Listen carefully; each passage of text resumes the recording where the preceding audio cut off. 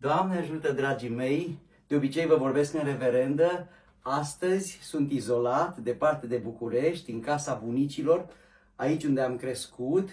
Reverenda am pus-o deoparte, sunt în pijamale, în training, pentru că sunt bolnav, am COVID, ca mulți alți români, și vă transmit de aici, de la țară, de la Călinești, un mesaj de încurajare, un mesaj de speranță. Puteți să treceți prin această boală fără să ajungeți la spital. De aceea am pentru voi câteva sfaturi duhovnicești. Am în fața mea tratamentul medicilor și tratamentul duhovnicesc. Acestea două vindecă trupul și sufletul. Haideți să vă spun cum să faceți, cum am făcut eu de altfel, cum trec eu prin COVID, să vă spun cum să faceți ca să nu fie nevoie să ajungeți la spital. În primul rând, nu trebuie să vă spună statul român să vă testați. Testați-vă des. În momentul în care simțiți primul simptom, testați-vă. După aceea mergeți, așa cum am făcut și eu, am făcut un test PCR și am descoperit că sunt pozitiv. Imediat ce am descoperit că sunt pozitiv, mi-am sunat medicul care mi-a trimis prin SMS tratamentul, bateria de tratament. Dacă iei tratamentul de la început, șansele să te vindeci sunt foarte mari.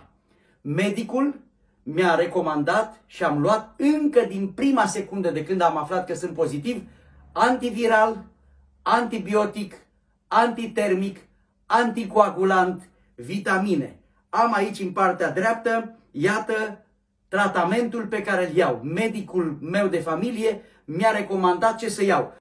Ca să aveți o pace, aveți nevoie să le aveți pe toate acestea în casă deja.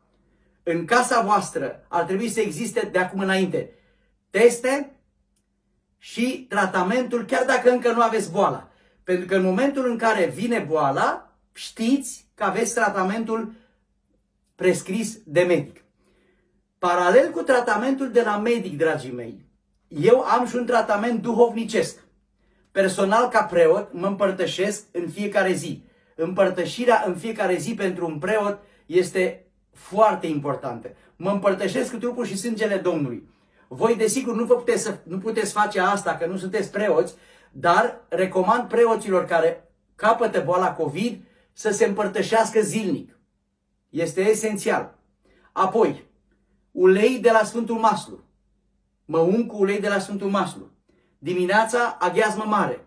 Și astfel, citesc cuvântul Domnului din Biblie, mă hrănesc cu cuvântul Domnului. Așadar, iubiții mei, ca să nu ajungeți la spital și să treceți peste această boală mai ușor, știința și credința ajută omul să se vindece. Nu vă speriați.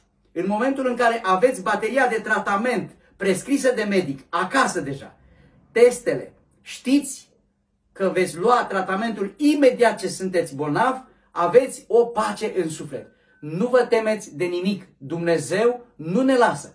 De aceea consider că este esențial să avem credință în Dumnezeu și să luăm sfintele taine din, din, din, din iubirea lui Dumnezeu. El, El nu ne lasă. Trebuie doar să-i cerem ajutorul. Rugăciune, credință și medicație de la medic. Toate acestea vă vor vindeca. Eu sunt la jumătate, aproape la jumătate Uh, am, sigur, uneori dificultăți de respirație, mai transpir, după cum vedeți că și acum am transpirat deja, însă am speranță că Dumnezeu nu mă părăsește. Dumnezeu este cu mine.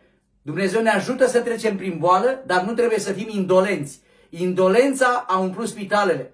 Indolența noastră, neatenția noastră și nepăsarea noastră. Dacă ne luăm teste acasă, dacă ne testăm des, dacă descoperim că avem viroza și dacă imediat începem tratamentul, șansa să ne vindicăm este foarte mare. Rețineți, medicul vă va prescrie antiviral, antibiotic, antitermic, anticoagulant și întărirea sistemului imunitar prin vitamina C, vitamina D, zinc, coercitină și așa mai departe.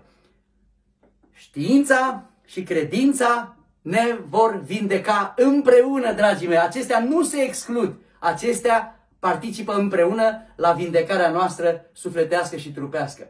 Vă voi mai da și zilele următoare câte o mărturie uh, de aici, de la Călinești. Voi face un jurnal de Călinești cum trec eu prin COVID. În momentul de față, am momente în care am pusee de temperatură, dar îmi iau tratamentul și mă simt bine pentru că nu mi-e frică. Știu că Dumnezeu este cu mine, Dumnezeu nu mă părăsește și îmbin știința medicală, credința în Dumnezeu și împreună am nădejde că Dumnezeu mă va aduce înapoi în biserica mea și voi îmbrăca din nou această reverendă ca să fac rugăciuni pentru voi. Rugați-vă și pentru mine și mă voi ruga și eu pentru voi. Doamne ajută!